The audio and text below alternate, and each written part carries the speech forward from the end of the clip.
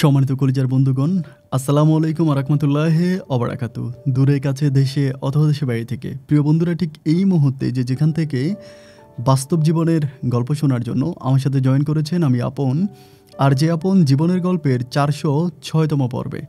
আপনাকে বরাবর মতো স্বাগত জানাচ্ছি। বন্ধুগণ, আজ আমি আপনাকে শোনাবো বন্দরনগরী, চট্টগ্রামের ছেলে করিমের জীবনের কলিজা কাঁপানো এক বাস্তব গল্প। বন্ধুরা, জীবনের গল্পের এই অনুষ্ঠানের লাস্ট কয়েকটা সপ্তাহ ধরে আমি খুব বিপদে আছি। অনেক বড় বিপদে আছি।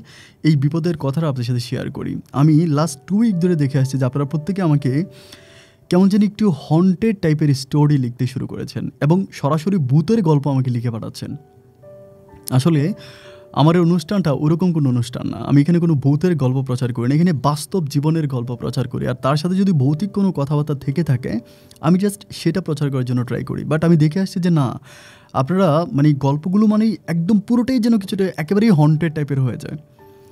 তো যারা গল্প লিখে পাঠান, আমি তাদের কাছে রিকোয়েস্ট করব যে একটু লাইক আপনাদের জীবনে যেটা ঘটে, আপনার লাইফে যেটা ঘটে এবং রিসেন্ট গল্পগুলো আমাকে লিখে পাঠানোর জন্য। আজকের যে গল্পটা, এটাও আজ থেকে অনেক বৎসর আগের স্টোরি যিনি গল্প লিখে পাঠিয়েছেন মানে ওনার আর গল্প লেখার মতো বয়স নাই, আরেকজন ওনার কথাগুলো লিখে পাঠিয়েছেন এবং ওই মানুষটাও আজকে লাইফের প্রায় একেবারে শেষ পর্যায়ে দাঁড়িয়ে আছে। ওনার গল্পটাও খুবই ভয়ঙ্কর এক বাস্তব জীবনের গল্প। এই গল্পের মাঝে আমি এক চরম শিক্ষা পেয়েছি। কী শিক্ষা পেয়েছি? এটা গল্প শেষে আপনাদেরকে বলব। এজন্যই গল্পটা প্রচার করছি। বরাবর মতো আবার বলে যায় দয়া করে আপনারা রিসেন্ট আপনাদের জীবনে যে ঘটনাগুলো ঘটেছে, ওই স্টোরিগুলো লিখে পাঠান এবং সেটা যাতে বাস্তব সম্মুখীন হয়। ধন্যবাদ সবাইকে। সম্মানিত বন্ধুগণ, আসসালামু আলাইকুম রহমতুল্লাহ অবরাকাত আমার নাম মোহাম্মদ করিম হোসেন। আমার বাড়ি বন্দরনগরী, চট্টগ্রামের অদূরে কোনো এক ছোট্ট অজপাড়া গায়ে প্রিয় বন্ধুগণ, আমি আমার জীবনের গল্পটা শুরু করার শুরুতেই আপনাদেরকে আমার পরিবারের ব্যাপারে জানিয়ে রাখি। আমার পরিবারে আমি আছি, আমার বাবা আছে, মা আছে, এছাড়া আছে আমার দাদা দাদি সহ আমার ছোট দুইটা ভাই। আমরা টোটাল তিন ভাই, আমাদের কোনো বোন নেই। আমাদের পরিবারটা আমাদের পরিবারটা চট্টগ্রামের ওই অজপাড়া গায়েরই এক নিম্ন মধ্যবিত্ত পরিবার। আমার বাবা পেশে একজন রিক্সা ড্রাইভার। যদিও বাবার এই পরিচয় দিতে আমার কাছে অনেক খারাপ লাগতো ওই সময়টাতে, বাট এখন আর খুব একটা খারাপ লাগে না। আমার বাবা রিক্সার প্যাডেলে পা দিয়ে মাথার গাম পায়ে পেলে পরিশ্রম করে আমাদের এই সংসারটাকে সামনে দিকে নিয়ে যাচ্ছিল। আমার বাবা খুব কষ্ট করে আমাকে সেই সময় প্রায় আমাকে ক্লাস সিক্স পর্যন্ত পড়াশোনা করায়। ওই সময় যদি এসএসসি পাস করতো, তাহলেই বাংলাদেশের খুব বেটার বেটার, খুব ভালো। মানে এসএসসি পাস করা একজন ব্যক্তি মানে হচ্ছে বিশাল ব্যক্তি। মানে তিনি ভালো কোনো জব পেয়ে যাবে। ক্লাস ফাইভ, সিক্স পড়াই ম্যাক্সিমাম মানুষগুলো থাকতো। তো আমাকে আমার বাবা খুব কষ্ট করে ক্লাস সিক্স পর্যন্ত পড়ায়। আমি যখন ক্লাস সিক্সে পড়ি, তখনও কিন্তু আমি মোটামুটি অনেকটা বড়। ক্লাস সিক্সের পরে আমার পক্ষে আর পড়াশোনা করাটা সম্ভব হয় না। ছোটো দুইটা বাই থাকে, তখনও তারা হচ্ছে তা তারাও পড়াশোনা করতো প্রাইমারি স্কুলে। ওই সময় বাবা সিদ্ধান্ত নিল যে বাবা আমার পড়াশোনা বন্ধ করাই দিবে এবং পড়াশোনা বন্ধ করে দিয়ে বাবার সাথে আমাকে কাজে রাখবে। আমাদের ওই অত্র এলাকাতে ওই সময় কিন্তু প্রচুর পরিমাণ মাছ মানে মাছ ধরা হইতো আর কি। অনেকে মাছ ধরতো। তো আমার বাবা চিন্তা করল যে আমাকে দিয়েও মাছ ধরাবে। মানে আমাদের গ্রামের পাশেই হচ্ছে অনেক বড় একটা খাল ছিল। মানে ওই খালে সবাই মাছ ধরতো। অনেক বড় বড় মাছ পাওয়া যেত এবং এমনও ফ্যামিলি ছিল যাদের ফ্যামিলিটা সম্পূর্ণ ডিপেন্ড করতো ওই মাছ ধরার উপরে। তারা প্রায় তিন মাস, চার মাসের মতো মাছ ধরবে, ওই টাকা ওই টাকা দিয়ে মানে মাছ বিক্রির টাকা দিয়ে পুরো বছরটা চালাবে। এরকম অনেকগুলো পরিবার আছে। তো আমার বাবা তখন আমাকে বলল যে, তুই গিয়ে মাছ ধর, আমাকে পড়াশোনা বন্ধ করাই দিল। তো পড়াশোনা বন্ধ করে দেওয়ার পরে আমি তখন সারা, হচ্ছে সারা দিন ঘুমাই এবং সারা রাত গিয়ে মাছ ধরি, খালে মাছ ধরি এবং দিনের বেলায় মাছ বিক্রি করি, সকালবেলা মাছ বিক্রি করে সে ঘুমাইছে ওভাবে আমার দিনগুলো কাটতেছিল। এরকম করে সময়গুলো কাটতে কাটতে আমার কিন্তু নেট কেনার মতো মানে জাল কেনার মতো টাকা ছিল না। আমি আমাদের ছোট একটা জাল ছিল যেটা খেও মেরে অল্প অল্প মাছ পাইতাম, অত ভালো মাছ পাইতাম না। তো আমি যেখানে খেও দিতাম, আমার পাশেই হচ্ছে আজাদ চাচা নামের একজন লোক আছে মানে আজাদ ভাই, আজাদ কাকা বলি আমি ওনাকে। তো আজাদ কাকা আমারে বলতেছিল যে, একটা কাজ কর, তুই যে এরকম একা একা মাছ ধরিস, তুই অল্প কিছু মাছ পাস, এটা বিক্রি করে তুই কয় টাকায় পাস? তুই আমার সাথে একটা কাজ কর, আমার তো বিয়াল আছে আপনার যারা গ্রামের মানুষ, তারা সম্ভবত বিয়াল চিনবেন। বিয়াল হচ্ছে এক ধরনের মাছ ধরার জন্য এক ধরনের জাল যেটা এরকম সিস্টেম করে করা হয়। এটা ওরকম করে পরে এবং এরকম করে হচ্ছে মানে খাল থেকে উঠে আসে। এই নেটের মধ্যে যে অনেকগুলো মাছ পাওয়া যায়। এটা খুব গ্রামীণ মাছ ধরার একটা দারুণ সিস্টেম যদিও আস্তে আস্তে এই সিস্টেমগুলো এখন নাই বললে চলে।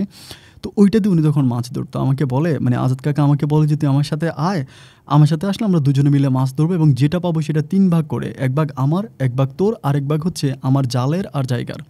জাল, জায়গার এক ভাগ, আরেক ভাগ আমার, আরেক ভাগ তোর। যদি তুই এভাবে রাজি থাকিস তাহলে তুই আমার সাথে মাছ ধর। আমি তখন চিন্তা করলাম, আমি তিন দিনে যে মাছ পাই মানে তিন দিনে আমি যে মাছ পাবো, ওনার সাথে কাজ করলে আমি একদিনেই সেই মাছ পাবো। আর একা একা মাছ ধরতে ভালোও লাগে না। রাত জেগে মাছ ধরি, একা বসে থাকি, ভালো লাগে না। ওনার সাথে থাকলে গল্প গুজবও করা হবে, মাছও বেশি পাবো। তাহলে তো এটাই ভালো। আমি তখন কী করলাম, সচরাচর হচ্ছে ওনার কথায় রাজি হয়ে গেলাম। রাজি হয়ে আমি বললাম যে, ঠিক আছে, আমি আপনার সাথে মাছ ধরবো, আপনি আমাকে মাছে নিয়ে যান। এরপরে উনি ওনার ওই বিয়ালের মধ্যে আমাকে উঠাই নেয়। উঠে নেওয়ার পরে আমি আর উনি হচ্ছে একই বিয়ালে কাজ করি। আলহামদুলিল্লাহ, খুব ভালো মাছও পাই। আমি আসার পর থেকে মনে হয় ওনার মাছ পাওয়ার মাত্রাটাও বেড়ে গেছে। উনি কিন্তু আগে অতটা মাছ পাইতো না। মানে উনি একটু লেজি টাইপের মানুষ ছিল। একটু অলস টাইপের ছিল। দেখা যায় খেয়াও একটা মেরে বিড়ি পাঁচটা, ছটা খেয়ে ফেলতো। ওই মাছ মানে খেয়াও আর উঠাইতো না। বেয়াল উঠাইলেই না মাছ পাবে। উনি আর উঠাইতো না। মানে ওই যে উঠাইতে হয়, কষ্ট করে টানতে হয় জন্য উঠায় না। একবার মেরে অনেকক্ষণ পরে উঠায়। এরকম। তো আমি যখন ছিলাম, তখন তো আমি যথেষ্ট ইয়াং আমার শরীরে একেবারে টকবগে রক্ত, আমি একেবারে তাজা মানুষ।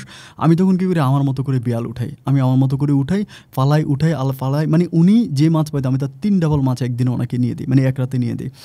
আলহামদুলিল্লাহ, এতে উনি অনেক খুশি হয় যে ওনারও ইনকামটা বেড়ে গেছে আমার ইনকাম বেড়ে গেছে। রাতারাতি অবস্থা দেখার পর আমার বাবাও তখন মাছ ধরতে চলে আসে আমাদের সাথে। আমাদের সাথে আমার বাবাও তখন মাছ ধরে মানে আমি যে নেট দিয়ে মাছ ধরতাম, বাবা তখন নিচে নেট দিয়ে মাছ ধরে, আর আমি আর আজাদ কাকা হচ্ছে উপরে মাছ ধরি। এভাবে কিছুদিন কেটে যাওয়ার পর আমার বাবা খুব অসুস্থ হয়ে গেছে। আমার বাবার ঠান্ডাটা সহ্য হয় না। মানে গাঙের পাড়ে কিন্তু প্রচণ্ড রকমের বাতাস। ওই বাতাসটা আমার বাবার সহ্য হয় না। বুকের মধ্যে বাতাস ঢুকে কফ এবং বাবার যক্ষা হয়ে যায়। এরপরে বাবাকে আর কাজ করতে দিই না। আমি নিজেই হচ্ছে কাজ করি এবং এভাবেই হচ্ছে আমার সংসারটাকে সামনে দিকে টেনে নিয়ে যাচ্ছিলাম। আলহামদুলিল্লাহ, আমি পড়াশোনা ছেড়ে দিলেও আমার যে দুটো ছোটো ভাই ছিল, তারা কিন্তু পড়াশোনা করতো। তারা যথেষ্ট পড়াশোনার প্রতি মনোযোগী ছিল। আর আজাদ কাকার একটা মেয়ে আছে, আর হচ্ছে ওনার ওয়াইফ ওনার আর কোনো মেয়ে নাই, আর কোনো ছেলেও নাই। ওই মেয়েটাকে উনি অনেক ভালোবাসে আমার একদিন মনে আছে, আমরা মাছ বিক্রি করার জন্য বাজারে গেছিলাম। তো ওনার মেয়েটার নাম হচ্ছে আমেনা। আমেনা তখন বলতেছিল যে, আমাদের সাথে বাজারে যাবে। তো যখন বলতেছিল, আমরা নিয়ে নিলাম। আমেনা আমাদের সাথে বাজারে যাওয়ার পরে একটা মানে দাড়িওয়ালা খুব মানে একদম বুজুর্গ টাইপের একটা লোক, ওই লোকে মাছ কেনার জন্য আসছে। তো আমরা কিন্তু মাছগুলা আরও বেশি টাকায় বিক্রি করতে পারব। ওই হুজুরটা তখন কম টাকায় মাছগুলো কিনতে চাইলো। আজাদ কাকা তখনও আমার পাশে দাঁড়িয়ে আছে এবং ওনার মেয়েটা ওনার পাশে দাঁড়িয়ে আছে। ঠিক ওই মুহূর্তে আমি হুজুরটাকে বিদায় করে দিলাম। বললাম যে, না, এত কম দামে মাছ বিক্রি করব না। মেয়েটা তখন বলতেছে, না বাবা, ওনাকে, ওনার কাছে মাছ বেচে দাও। ওনার কাছে মাছ বেচো। মানে ওনার মেয়েটা কান্নাকাটি শুরু করল। আমি না আমরা যখন কান্নাকাটি শুরু করল, তখন আজাদ কাকা বলতেছে, দিদি হুজুরে ডাইকা মাছগুলো দিয়ে দে। মানে আমি তখন অবাক হয়ে গেলাম যে আমি যদি কোনো সময় এক টাকা, দুই টাকা কমে মাছ বেচতাম, আজাদ কাকা আমার উপর অনেক রেগে যেত যে হ্যাঁ তুই কম টাকায় মাছ বেচলি কেন? আর সেদিন ওনার মেয়ের কথায় উনি অনেকগুলো টাকা লস দিয়ে দিল। আমি বুঝতেই পারলাম যে উনি ওনার মেয়েকে প্রচণ্ড রকমের ভালোবাসে। যাই হোক, এভাবে দিন আর রাতগুলো কাটতেছিল। আমরা দুজনেই মোটামুটি অনেক হ্যাপি আমাদের মানে আমাদের সম্পর্কটা একেবারে বাপ ছেলের মতো হয়ে যায়। অনেকে আমাকে বলে যে, তুই আজাদ কাকা বলার দরকার কি? তুই ওনারা সরাসরি বাবাই ডাক। আর ওনাকে বাবা ডাকতো আমার কোনো আপত্তি নেই। যে পরিবারে নুন আনতে পান্তা পোড়াতো, তিন বেলা ভাত আমরা তিন ভাই পেট ভরে খেতে পারতাম না। বাবা, মা, দাদা, দাদির এত বড় একটা সংসারে প্রচণ্ড রকমের অভাব আর অনটন ছিল। সেই অভাবের অনটন থেকে আমাদেরকে মুক্তি দিয়েছে। আমাদের আন্দার ঘরে চাঁদের আলো ঢুকে দিয়েছে হচ্ছে এই আজাদ কাকা। তাহলে এই কাকাকে বাবা বলতে আমার কোনো আপত্তি নেই। উনি আমার বাবার চেয়ে আমার কাছে অনেক বেশি গেছু এইভাবে সময়গুলো কাটতে কাটতে অমাবস্যা রাত ছিল। অমাবস্যা রাত মানেই ভয়ঙ্কর রাত। যারা অনেকে জানেন, অমাবস্যা রাতে মাছ ধরা তারপরে হচ্ছে মানে বাইরে যাওয়া, এগুলো আসলে অনেক ডিফিকাল্ট বিশেষ করে গ্রামের মানুষগুলো এটা অনেকটা মানে। গ্রামের মানুষগুলো অমাবস্যা, পূর্ণিমা এগুলো মানে। তো অমাবস্যা রাতের বেলায় আমরা তখন মাছ ধরতে যাব। ওই সময় আমেনার মা মানে কাকি বলতেছিল যে, আজকে আর মাছ ধরার দরকার নেই, আজকে অমাবস্যা রাত। কিন্তু কাকার কথা হচ্ছে, অমাবস্যা রাতে কিন্তু সবচেয়ে বেশি মাছ পাওয়া যায়। ওই সময় মাছ যেন পুকুর থেকে লাফিয়ে লাফিয়ে মানে গাং থেকে লাফিয়ে লাফিয়ে উপরে উঠে যায়। অবশ্য রাতে একদিনে মাছ ধরা আর অন্য এক মাস মাছ ধরা সমান। কাকি যখন বলল, কাকা তখন কোনো কথাই শুনলো না। আমাকে বলল যে নারে করিম, চল আমরা মাছ ধরবই ধরবো। তোর কাকির কথা বাদ দে। আমি বললাম যে, কাকি মানা করছে, এরপরেও কি মাছ ধরতে যাওয়া ঠিক হবে? উনি বলে হ্যাঁ ঠিক হবে, সমস্যা নাই, আমার সাথে তুই চল। তুই কি ভয় পাস? আমি বললাম, না, আমি ভয় পাই না। কারণ এটাই ওনার সাথে মাছ ধরার আমার প্রথম অমাবস্যা রাত। অনেক ভয়ও লাগতেছিল, প্রচণ্ড রকমের ভয় কাজ করে। এরপরে যাই, দুজনে মাছ ধরতে যাই, একেবারে চারিদিকে শুনশান, নিরবতা, খুবই ভয়ঙ্কর একটা সিচুয়েশান আর কি। যেন দূর থেকে শোষো শোষো শোষো করে অন্যরকম একটা শব্দ বেশি আসছিল। যাই হোক ওই দিন কিন্তু গাঙের পাড়ে তেমন কোনো মানুষও ছিল না। মানে হয় না যে অন্য মানুষটা মাছ টাছ ধরে, ওরকমও কোনো মানুষ নাই। আমি আর হচ্ছে করিম কাকা আমরা দুজনেই আর আশেপাশের বিয়ালগুলো সেদিন বন্ধ করে রাখে। তো মাছ ধরতেছি দুজনেই, উনি একটার পর একটা বিড়ি বিড়ি বিড়ি বিড়ি টানতেছে। কারণ মানে কথা হচ্ছে বিড়ি থাকলে নাকি জিন, ভূত এগুলো কাছে আসতে পারে না। এই জন্য উনি বিড়ি টানতেছে। বিড়ি একটার পর একটা, একটার পর একটা, একটার পর একটা বিড়ি ধরাচ্ছে। ধরাতে ধরাতে আমি তখন মাছ ধরতেছি। আমার কাছে মনে হয় ফজরের কিছুক্ষণ আগে হবে। কারণ আমাদের কাছে কিন্তু ওই সময় ঘড়ি ছিল না। আমরা আকাশের দিকে তাকাই হচ্ছে, আকাশের কিছু তারা আছে, ওই তারাগুলোর দিকে তাকে আমরা টাইম নির্ধারণ করতে পারতাম। যে এতটা বাজে, অতটা বাজে এগুলো আকাশ তার দিকে চাইলে বোঝা যেত তো আকাশের তার দিকে তাকে আমার কাছে মনে হলো যেন এটা মাগরিবের ঠিক কিছুক্ষণ মানে সরি ফজরের খুব কিছুক্ষণ আগে, ঠিক ওই মুহূর্তে আমি তখন জাল টেনে উপরে উঠাইতে পারতেছি না। মানে আমি একা টাইনে উঠাইতে পারতেছি না, মনে হয় জালের মধ্যে অনেক মাছ ধরছে মানে অনেক মাছ, আমার পক্ষে একা টিন এটাকে উপরে ওঠানো সম্ভব হয় না। আমি তখন মানে আজাদ কাকা আজাদ কাকা বলে লাভ দিই উনি তখন হচ্ছে ওই বিড়ি টান্দাতে ঘুমায় যায় মানে ঘুমায় গেছে। পরে উনি তখন লাভ দিয়ে উঠে, আমি বললাম যে, মাছ মনে হয় অনেক হয়েছে আপনি সহ ধরেন। তো দুজনে ধরে রশি দিয়ে খুব কষ্ট করে বেয়ালটাকে টেনে উপরে উঠাচ্ছে। অনেকটা উঠানোর পরে আমাদের হাতে যে টর্চ লাইট ছিল টর্চ লাইটটা টিপ দিয়ে দেখতেছি মাছ আছে এত বেশি, বলার মতো না, কিন্তু ওই মাছের সাথে আছে এক ভয়ঙ্কর সাপ। সাপ দেখার পরে আমি তখন মানে ইয়া রশিদ ছেড়ে উনি বলে, এই রশিদ রশিদ আমি তখন আবার রশিদ ধরলাম। উনি বলে কিরে আমি বললাম, এটার মধ্যে সাপ, অনেক বড় সাপ। মানে দেখা যাচ্ছে যে সাপ এরকম একে মেকে উপরে উঠতেছে। আমি তখন বললাম, এটা ছেড়ে দেন, সাপে কামড় দেবে। উনি আমার বলে, শোন, সাপে কামড় দেবে না। এতগুলো মাছ আমরা কীভাবে ফেলে দিব? তা আমি তখন বললাম যে, সাপে কামড় দিবে না মানে সাপে কামড় দিলে তো আমরা সবাই মরে যাব। আপনি মাছ দিয়ে কি করবেন? আপনি সাপ সাপা সেটাতে আমরা মাছ, এই বিয়ালের মাছ উঠাবো না। কারণ বিয়ালের মাছ যদি আপনাকে উঠাইতে হয়, তাহলে সাপের গায়ে আপনাকে ধরতে হবে। সাপের গায়ে স্পর্শ না লাগলে আপনি বিয়ালের মাছ উঠাইতে পারবেন না। তো যার জন্য আমি কাকাকে বলতেছি যে, ঠিক আছে, আপনি এখন আর মাছ ধরার দরকার নেই, এটা আমরা ছেড়ে দিই। এরপরের খেয়ে হয়তো আমরা আরও বেশি মাছ পাবো। উনি বলে, তোর কাছে কী মনে হয়? আমি আজকে প্রায় পনেরো বছরে, পনেরো থেকে বিশ বছরের মতো এই বিয়াল দিয়ে মাছ ধরি। আমি কি কোনো কিছু জানি না? আমি কি কোনো কিছু দেখি না তোর চাচি এতবার মানা করার পরেও আমি তারপরও মাছ ধরতে আসলাম। তুই কি বুঝোস না কিছু?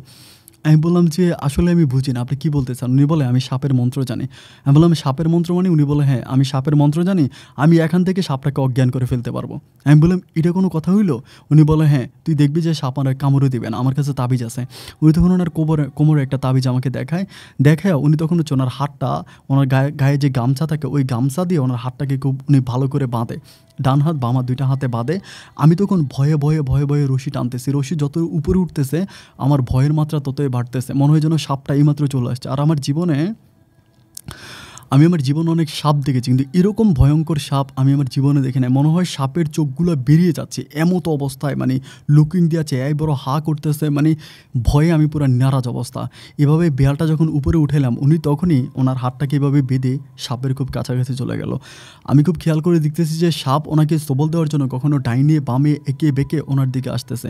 উনি একটার পর একটা কৌশল অবলম্বন করতেছে, কখনো এই পাশে, কখনো ওই পাশে, এক এক পাশে গিয়ে সাপটাকে জাস্ট হচ্ছে উনি ফেরেশান করে দিচ্ছে। দিচ্ছে। মানে সারপ্রাইজ মানে যেটা বলে যে বিব্রত করে দিচ্ছে। সাপ এখানে সবল দেয়, ওখানে সবল দেয়, এরকম করতে করতে জালটাকে উনি কাছে নিয়ে এসে খপ্পর করে এই হচ্ছে সাপের মাথার মধ্যে ধরে ফেলে। এবং এই সাপটা ওনার পুরোটা হাতকে পেঁচিয়ে পেঁচিয়ে ওনার গলা টলা শরীর পর্যন্ত পেঁচায় ফেলে।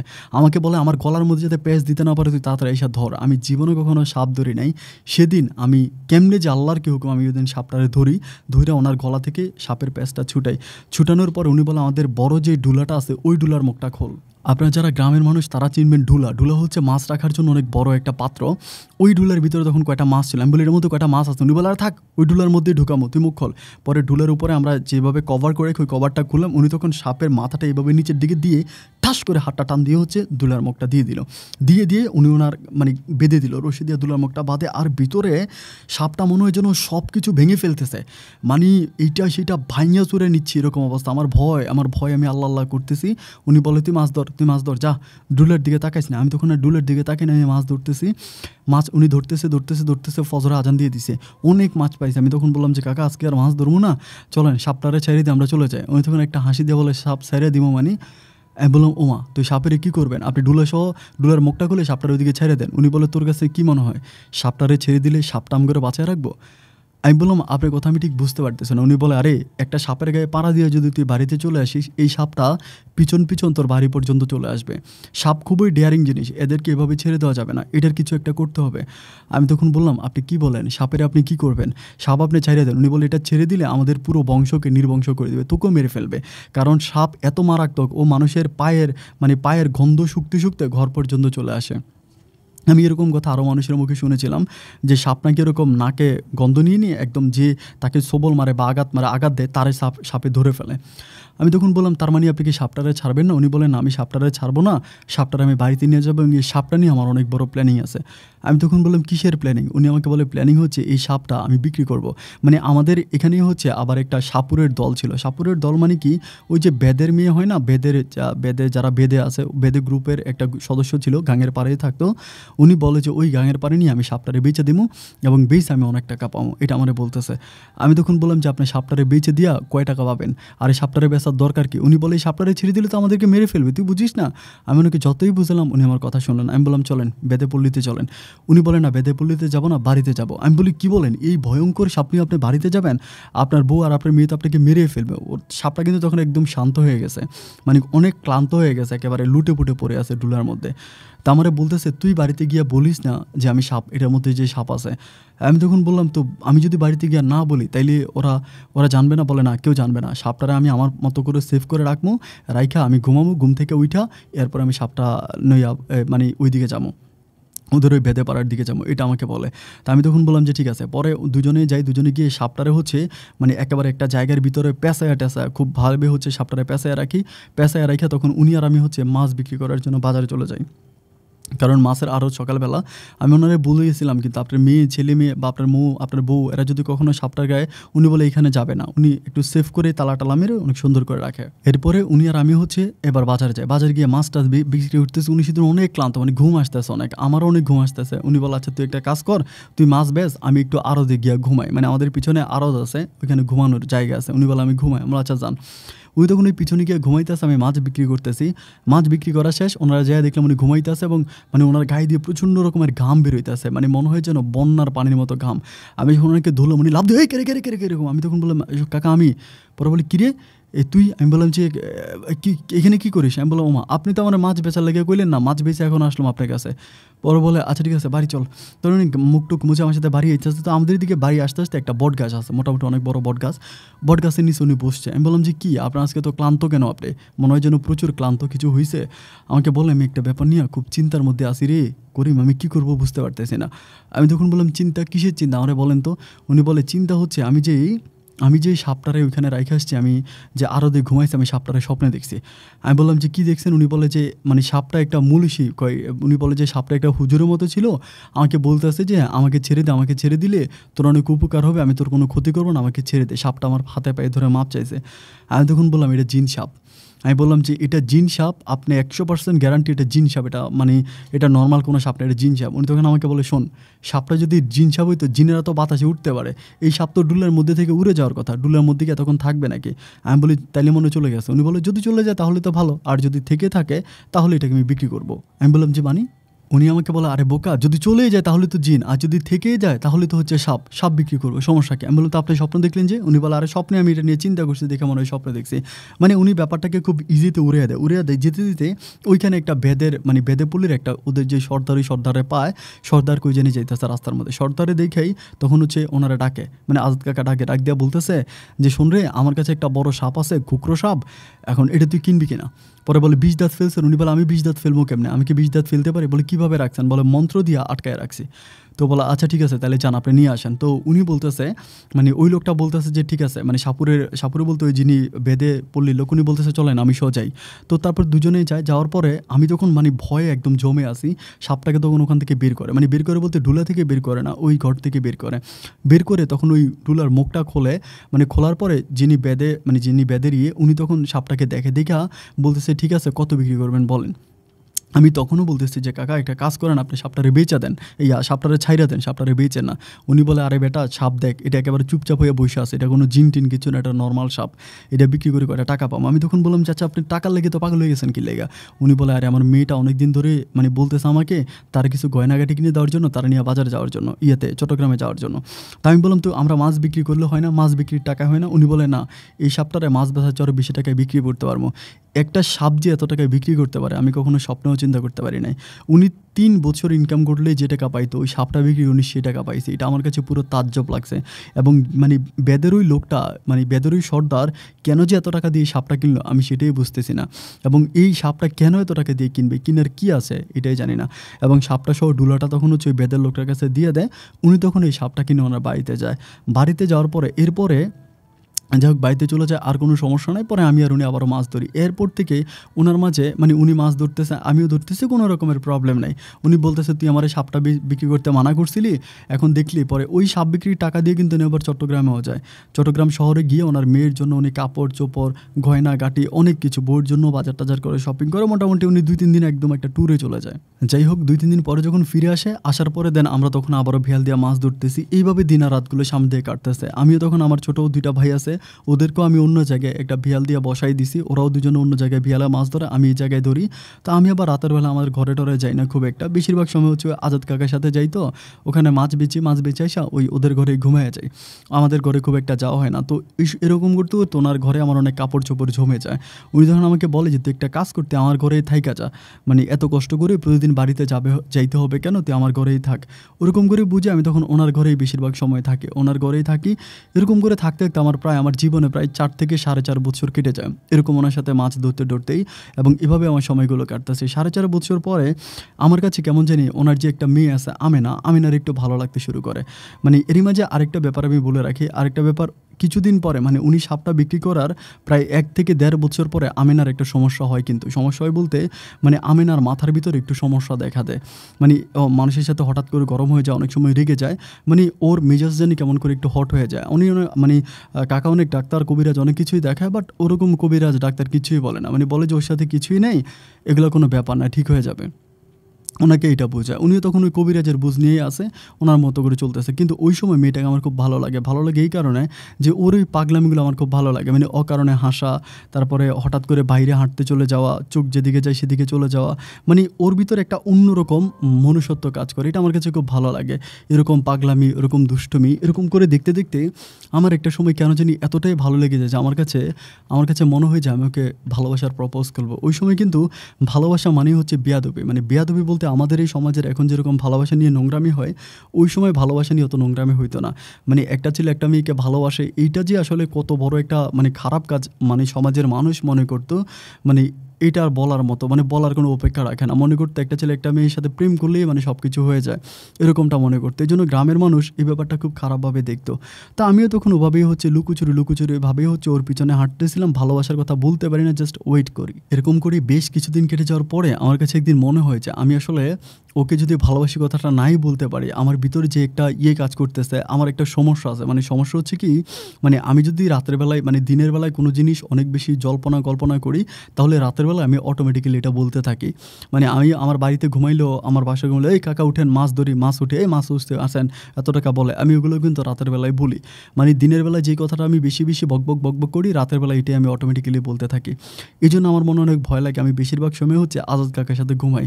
এখন ঘুমাইতে ঘুমাইতে আমি যদি সারাদিন ওনার মেয়েকে নিয়েই চিন্তা করি, না জানি কবে ওনার মেয়ের নাম আমার হঠাৎ করে মুখ থেকে বের হয়ে যায়। কারণ ওনার কাছে যদি একবার ওনার মেয়ের নাম যদি উনি কোনোভাবে শুনতে পারে, তাহলে তো উনি খুব রাগ করবে। মানে আমার উপরে প্রচণ্ড রাগ করবে। এই জন্য আমি ওনাকেও কোনো কিছু বুঝতে দিই না, ওনার সাথে আর ঘুমাই না, একা একা ঘুমাই। এইভাবে অনেক দিন কেটে যাওয়ার পরে একদিন আমি না বলতেছিল, বিকালবেলা ও বড়শি পাবে মানে বড়শি দিয়ে মাছ ধরবে।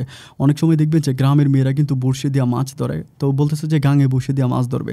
তা ওইটা কিন্তু ওই নর্মাল কোনো বড়শি না। মানে যেই যে ফিশারিতে যে বড়শিগুলো ব্যবহার করা হয় না, বড় বিদেশি বড়শি, এগুলো হচ্ছে মানে আজাদ কাকার কাছে আছে। মানে ওনার কাছে এক চট্টগ্রামের লোক আসছিল মাছ ধরার জন্য। ওনার ওই বিয়ালে বৈশা বৈশা বড়শি দিয়ে মাছ ধরছে। তারপরে যে দুইটা মানে বড়শি যে দুইটা ছিল, ওই দুইটা দিয়ে গেছে ওনাকে নিয়ে যায় না ওই বড়শিগুলো তখন আমি না নিয়ে বলতেছে যে, চল আমরা দুজনে মাছ ধরবো বিকালবেলা।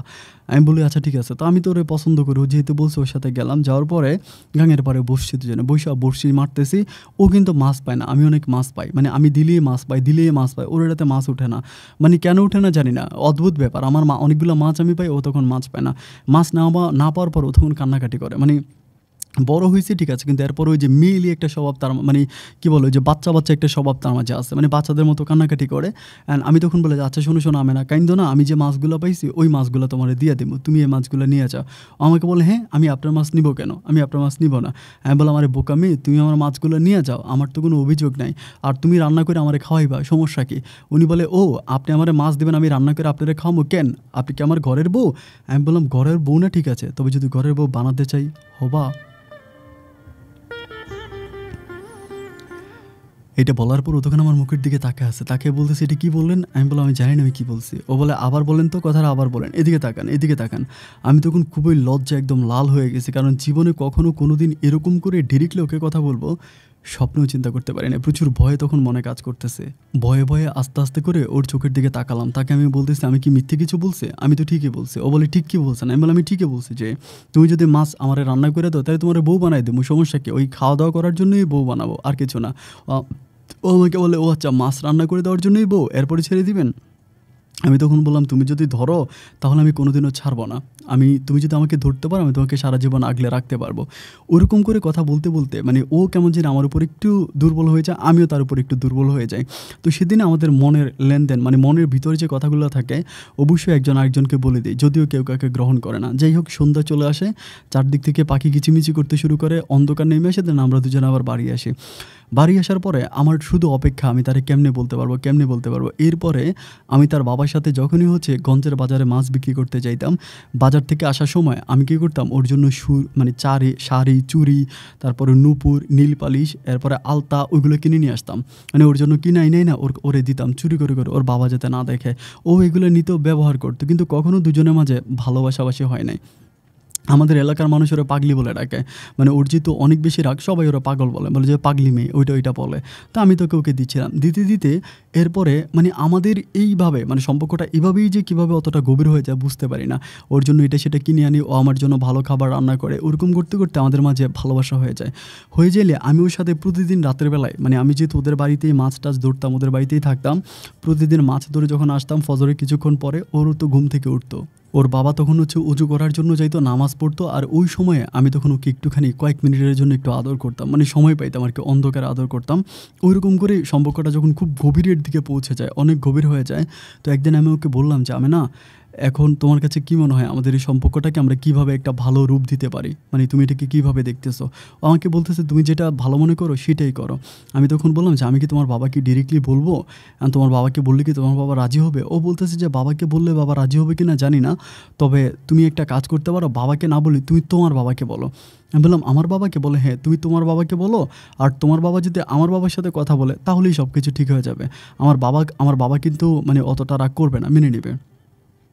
আমি তখন বললাম যে আচ্ছা ঠিক আছে, তাহলে আমি এটা এভাবেই করব। পরে এর একদিন পরে আমি তখন বাড়িতে যাই, আমার মাকে বলি। প্রথমে মাকে ব্যাপারটা বলি যে, মা, এমন এমন ঘটনা এমনি এমনি মার কাছে একটু একটু ভাইঙা টেঙে পুরোপুরি বলি না ভাইঙা বলি। ভাইঙা বলার পরে মা আমার বলে, এইসব ব্যাপার নিয়ে আমার সাথে কথা বলিস না। আর এইসব ব্যাপার নিয়ে যদি কথা বলতে হয়, তোর বাবার সাথে বল। আমার মা কিন্তু আমাকে অনেক ভালোবাসে, কারণ ছোটো দুইটা ভাইয়ের একটা বিয়াল কিনা দিলাম, ওরা মাছ ধরে, আমি আবার মাছ ধরি। আমাদের সংসারটা কিন্তু অনেক ভালোই চলে। সংসারে কোনো অভাব নেই, অনটন নেই মা অনেক হ্যাপি বাবা অনেক হ্যাপি তো সেক্ষেত্রে আমার কাছে মনে হয় যে, ব্যাপারটা নিয়ে তারা খুব একটা রোড করবে না। পরে আমি মাকে যখন বললাম, মা তখন বলে, তোর বাবা কী সব ব্যাপার নিয়ে বল? পরে আমি এই দিনে এই দিনে হচ্ছে বাবার কাছে বললাম যে, বাবা, এমন এমন ঘটনা বাবার কাছে আর লুকোচুরি করি নাই। মানে ডাইরেক্টলি বললাম যে করিম কাকু ইয়ের মেয়ে, আজাদ কাকার মেয়ে, আমেনার আমার ভালো লাগে। আমি আমেনার সাথে একটা সম্পর্কে জড়াইতে চাই, তুমি কি বলো? আমার বাবারে বললাম, আমার বাবা তখন বলে কোন সম্পর্কে জড়াইতে চাস? আমি বললাম, যে সম্পর্ক মানে আমি ওর বিয়ে করতে চাই। ডিরেক্টলি বলি। আমার এই কথাটা বলার সাথে বাবা হঠাৎ করে আমার দিকে খুব অবাক নজরে থাকে বাবা মরে বাবা আমাকে বলে, হাতি মরে গেল, তার দাম লাখ টাকা। আমি তখন বললাম যে, হাতি মরে গেল, তার দাম লাখ টাকা মানে মানে আমাদের বাড়িটা হচ্ছে মোল্লা বাড়ি। মানে আমরা যে বাড়িতে আছি, ওই বাড়িটার নাম হচ্ছে মোল্লা বাড়ি। এবং আমাদের এলাকার মানুষগুলো অনেক সম্মানিত মানে আমাদের গ্রামের মানুষ অনেক সম্মানিত। আর আমিনাদের যে বাড়ি, ওইটা হচ্ছিল মানে ওই এলাকাটাই ছিল হচ্ছে হিন্দু পাড়া মানে হিন্দু এলাকা আর কি, ওইখানে আগে হিন্দু লোকেরা থাকতো। এবং আমিনাদের বাড়ির আশেপাশেও প্রচুর হিন্দুদের ঘর বাড়ি আছে। ওর বাবা তখন আমাকে বলতেছে আমার বাবা তখন আমাকে বলতেছে যে, এরকমভাবে হবে না। মানে ওই রকম মানে ছোটো জাতের মেয়েকে আমি তোকে বিয়ে করাবো না। এরকম করে বাবা আমাকে বলে। আমি তখন বললাম যে, বাবা, এটা তো হিন্দু মুসলমানের বিয়ে হচ্ছে না। এটা তো কোনো হিন্দু মুসলমানের বিয়ে না যে, তুমি আমাকে কোনো হিন্দু মেয়ে বিয়ে বিয়ে করাইতেছো। তুমি তো আমাকে কোনো হিন্দু মেয়ে বিয়ে করাইতেছো না। তাহলে তুমি এটা কেমন কথা বলতেছো যে, ওই বাড়ির মেয়েকে তুমি আমাকে বিয়ে করাবা না? এটা তো ভালো দেখে না। আব্বা, তুমি এটা অন্যায় করতেছো। আমার বাবা আমাকে বলে, আমি যাক বলছি, তাই বলছি। আমি ওই মেয়েকে তোকে বিয়ে করাবো না। বাবা ডিরেক্টলি এটা বলে এবং মাও তখন আমার বাবার পক্ষে মানে সাফাই গায়। দাদা, আমার ওই সময় আমার দাদা মারা গেছিল, দাদি আছে। দাদিও তখন ওই একই কথা বলে যে, না, আমরা মোল্লাবাড়ির, আমরা আমরা মোল্লাবাড়ির আমরা মোল্লাবাড়ির বড় বংশ দেখে মেয়ে বিয়ে করাবো মানে মেয়ে মেয়ে আনব। মানে ওরকম ছোটো জাতে বিয়ে করাবে না। মানে ব্যাপারটাকে আমি বলে রাখি, আজকালকার সমাজে কিন্তু টাকা দিয়ে অনেক কিছু। আজকাল আমরা মনে করি যে, টাকা এমন একটা জিনিস যেটা দিয়ে শরীরের সমস্ত মানে ময়লাকে সাফ করা যায়। কিন্তু আগের দিন এরকম ছিল না। আপনার লক্ষ টাকা থাকুক, কোটি টাকা থাকুক, দেখতে হবে যে আপনি কোন বংশের। আপনার বংশ কি? আপনার বাড়ি আছে কিনা? আপনার ঘর আছে কিনা? আপনার বড় পুকুর আছে কিনা? বড় ধানি ক্ষেত আছে কিনা? বড় খেরেল মোড়র আছে কিনা? ওইগুলো দেখতো যদি ওইগুলো পছন্দ হতো তাহলে মানে ছেলে মেয়ে বিয়ে সাথে হইতো বেশিরভাগ ক্ষেত্রে। টাকা পয়সার উপরে তখন মানুষের অতটা লোভ ছিল না, আর টাকা পয়সার উপরে এত কিছু ডিপেন্ডও করতো না। সব কিছু ডিপেন্ড করতো বংশের উপরে। তো আমার বাবা তখন বলতেছে, আমি রিক্সা চালাইছি, ঠিক আছে, কিন্তু আমি তাও মোল্লাবাড়ির ছেলে। আমি তোরে মোল্লাবাড়ির মেয়ে বিয়ে করামো ওই রকম ক্ষেতের মেয়ে চাষা কোষার মেয়ের আমি বিয়ে করামো না। বাবা তখন সম্পূর্ণ রকমের পাল্টে যায়, মাও পাল্টে যায়। আমি তখন খুব বিপাকে হয়ে এই ব্যাপারগুলো আমেনার সাথে শেয়ার করি। আমেনা তো একটা মেয়ে, ও বা আমাকে কি বলবে? ও আমাকে বলে যে, শোনো তুমি চেষ্টা করো কি করা যায়, আমি আছি। ওরকম করে আমাকে বুঝায়। বাট কয়েকদিন কেটে যায়। কেটে যাওয়ার পর আমি দেখি যে, আমার বাবা মা আমাকে আর এই বাড়িতে আসতে দেয় না। মানে ওদের বাড়িতে আসলে কোনো না কোনো একটা এক্সকিউজ দেখায় আমার নিয়ে যায়। এবং আমিনার বাবার কাছেও বলে যাতে আমি রাতের বেলা ওদের বাড়িতে না থাকি। এটা আমার বাবা করে। তো যখন এরকমটা শুরু করে, আমি বুঝতেছি যে আঙ্কেলও মানে আমেনার বাবা আস্তে আস্তে পরিবর্তন হচ্ছে অনেকটা চেঞ্জ হয়ে যাচ্ছে। মানে উনি যে কোনো সময় ওনার ঘর থেকে আমাকে বেরও করে দিতে পারে, এমন অবস্থা। আমার ভিতরে তখন এতটাই ভয় কাজ করে, আমি ভয় আমার পুরো গলা শুকিয়ে যায়। আমি তখন বললাম যে, আল্লাহ, আমি এখন কী করতে পারি? আমি তখন আমেনাকে বললাম যে, আমেনা আমেনা বলে আমার বাসার অবস্থা অতটা ভালো না। যে কোনো সময় হয়তো আমার বাসা থেকে তোমাকেও বের করে দিতে পারে। অ্যান্ড আমি তখন কী করলাম, আমেনার বাবাকে এই ব্যাপারটা ডিরেক্টলি বললাম, আর কোনো কিছু লুকাইলাম না না লুকাইয়া আমেনার বাবার কাছে বললাম যে, কাকা, আমি তো আপনার সাথে আজকে অনেক বছর ধরে মাছ ধরি, আমরা দুজনে তো একই সাথে মানে একই সাথে আছি। এখন মানে আমার কাছে একটা ব্যাপার আসলে বলতে মানে কীভাবে বলব ঠিক বুঝতে পারতেছি না বাট আমি আমেনাকে অনেক পছন্দ করি। আপনি যদি মনে করেন যে আমেনার আমার কাছে বিয়ে দিবেন, তাহলে আপনি যদি অনুমতি দেন, আমি আমার বাবার সাথে কথা বলতে পারি। এটা বলার পরে উনি তখন আমার দিকে তাকিয়ে বলতেছে যে, তুই কি আমার অনুমতির বাকি রাখছিস?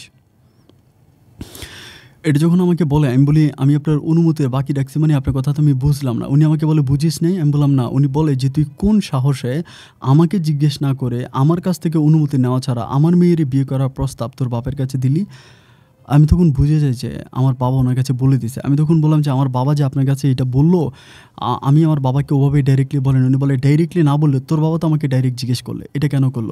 এবং তুই আমার অনুমতি ছাড়া আর মায়ের বিয়ে করবি তুই কেন কইলি মানে চট্টগ্রামের বাসায় খুব খারাপভাবে আমার সাথে কথা বলে এবং তুই আর আজকের পর থেকে আমার বাড়িতে আসবি না। আমি তোর সাথে মাছ ধরবো না। ওরকম করে উনি আমাকে একরকম বাড়ি থেকে বের করে দিবে। আমি ওই সময় আর পা ধরে কান্নাকাটি করি। মানে আজকে অনেকগুলো বছর উনি আমাকে নিজের সন্তানের মতো আদর করছে, নিজের সন্তানের মতো আমাকে বড় করছে। তো আমি পা ধরে কান্নাকাটি করে কাকা আমার ভুল হয়ে গেছে, আপনি যদি আমি আমিনারা আমার কাছে বিয়ে না দেন, আমার কোনো আপত্তি নেই, কিন্তু আপনি আমার বের করে দিয়েন না। আপনি আমার কাছে আমার বাবার চেয়েও অনেক বেশি কিছু, অনেক বেশি কিছু আপনি আমার বের করে দিয়েন না। হাতে পায়ে ধরে কান্নাকাটি করার পরে উনি তখন বল আচ্ছা ঠিক আছে, কিন্তু আজকের পর থেকে আর কখনো কোনো দিন আমেনাকে বিয়ে করা নিয়ে তুই আমার সাথে এই ব্যাপার নিয়ে আর কোনো কথা বলবি না। আমি এই ব্যাপারে কোনো কথা শুনতে চাইও না। আমি বললাম আচ্ছা ঠিক আছে, আমি আজকের পর থেকে আমিনার ব্যাপার নিয়ে আপনার সাথে আর কোনো কথা বলব না। এরপরে আমি আর ওনাকে কোনো কিছুই বলি না, আমি আমার মতো করে থাকতেছি, চলতেছি, কিন্তু আমি না এই ব্যাপারটা স্বাভাবিকভাবে মেনে নিতে পারতেছিল না। আমি না খাওয়া দাওয়া বন্ধ করে দেয়, ঘুমায় না, পাগলামি করে মানে অতিরিক্ত পাগলামি করে। ওই পাগলামি দেখে ওর বাবা কিছুটা ডাউট করে। ডাউট করার পরে ওর বাবা ওর সাথে কী কী বলে জানি না। একদিন আমাকে মাছ বেচে আসার সময় বটগাছের নিচে বৈশা ওই বটগাছের নিচে বৈশা বলতেছে যে করিম, আমার একটা সত্য করে কথা বলবি? আমি বললাম যে হ্যাঁ বলব।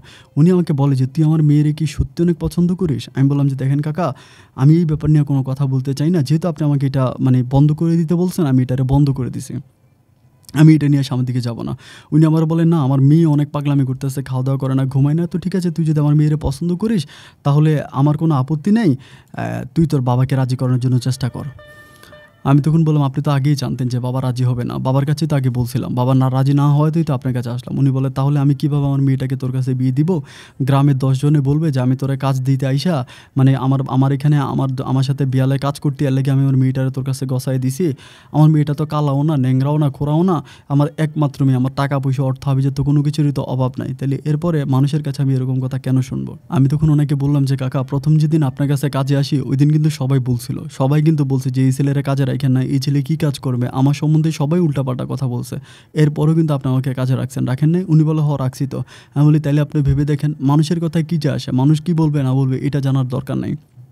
আপনি মানুষের কথা বাদ দিয়া আপনি আমার কথা আর আপনার কথা চিন্তা করেন। আমরা আসলে, আমরা যদি ঠিক থাকি তাহলে পুরো দুনিয়াই ঠিক। আপনি, আমি ঠিক তো পুরো দুনিয়াই ঠিক। এটা কোনো এটা কোনো ব্যাপার না, এটা কোনো কিছু হবে না। এইভাবে আমি ওনাকে বুঝিয়ে বলার মানে ওনাকে বুঝিয়ে বলার পর উনি তখন বলতেছে আচ্ছা আচ্ছা ঠিক আছে আমি ব্যাপারটা দেখি। তারপরে উনি আমাদের গ্রামের আরও কয়েকজন মুরব্বীর সাথে কথাবার্তা বলে মানে আমাদের গ্রামে বলতে ওনাদের গ্রামের মুরব্বীর সাথে কথাবার্তা বলে উনি আলহামদুলিল্লাহ আমার বিয়ের দিন তারিখ ঠিক করে। এরপরে আমাকে বলে যে, একটা কাজ করো, তোমার বাবা তো বাবাই, তাই না? বাবাকে তো আর ফেলে দেওয়া যাবে না। তুমি তোমার বাবাকে একটু ব্যাপারটা জানাও যাতে আমাদের বিয়েতে, তোমার বিয়েতে উপস্থিত থাকে তোমার বাবাকে একটু বলো। এবং আমি সেদিন বাড়িতে যাই, বাড়িতে গিয়ে আমার বাবাকে যখন আমি এই ব্যাপারটা বলি, বাবা তখন আমার সাথে আরও অনেক খারাপ ব্যবহার করে।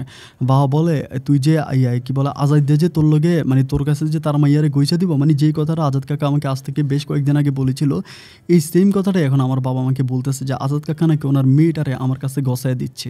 আমি যতভাবে আমার বাবাকে বলি যে, না বাবা, আমি ইচ্ছে করে আমি নাকি বিয়ে করতে যাচ্ছি এবং এটা সম্পূর্ণ আমার ইচ্ছে হচ্ছে। এখানে আজাদ কাকার কোনো হাত নাই, কিন্তু আমার বাবা আমার কোনো কথাই শোনে না। আমাকে বলো, আজাদের মাইয়ারে বিয়ে করবি তো আজাদের বাড়িতে থাকবে। আজাদের মাইয়ারে নিয়ে তুই কোনোদিন আমাদের বাড়িতে আসতে পারবি না। এটা বলে বাবা আমার সাথে খারাপ ব্যবহার করে আমি আর কি করব? বাবার অমতেই তখন আমি আমেনাকে বিয়ে করি। আমেনাকে বিয়ে করে ওই আজাদ কাকার সাথে মাছ ধরি। আমেনার সাথে আছি। এইভাবে দিন আর রাতগুলো সামনে দিয়ে কাটতেছে। আমাদের একটা ছোটোখাটো বাসর ঘর হয়, বাসর ঘরও কাটে। একই ঘরে আমি ঘর জামাই থাকি। তখন বিভিন্ন লোক আমাকে অনেক বাজে বাসায়, খারাপ বাসায় অনেকভাবে মানে নোংরামি করে কথা বলে যে আমি এই বাড়িতে থাকি, মাছ ধরি, এটা করি, ওইটা করি। অনেক খারাপ কথাই বলে। তা আমি এরপরও মাছ ধরি, আর কি করব। এইভাবে প্রায় তিন মাসের মতো আমেনার সাথে আমার সংসার হয়। তিন মাস পরে আমি আমেনার মাঝে একটা ছোটোখাটো পরিবর্তন দেখতে পাই। পরিবর্তন বলতে কি, আপনারা যারা মানে অনেকেই বুঝবেন গ্রামের মধ্যে দেখবেন পুকুরের পারে খালের পারে রাস্তার পারে ওরকম সাপে যে তার সবল পাল্টায় মানে সবল বলতে তার স্কেন চেঞ্জ করে, ওই স্কেনগুলো কিন্তু পাওয়া যায় রাস্তার মাঝে মাঝে, বিশেষ করে গ্রামে। তো আমি কয়েকদিন পর পরে আমার ঘরের আশেপাশে ওরকম স্কেন পাই। মানে সাপে সাপে নিউ রূপ নেওয়া ওই মানে ওল্ড স্কেন পাই, ওই সাপের ওল্ড স্কেন পাই। পাওয়ার পরে আমি কয়েকদিন এটা দেখে আমি তখন একটু অবাক হয়ে যাই, কিরি, কী ব্যাপার? এইটাই এরকম এখানে পড়ে আছে কেন? এটা কি? মানে এটা তো আর আমি বুঝতে পারি না। আমি তখন আমার মানে ওর বাবাকে বলি মানে আমিনার বাবাকে বলি, আমার শ্বশুরকে বলি, উনি তখন বলে, আর, এটা তো অনেক বড় ধরনের একটা সাপ। সাপে তার সবল এখানে পাল্টায় মানে সুরুত পাল্টায়। এটা আমাকে বলে।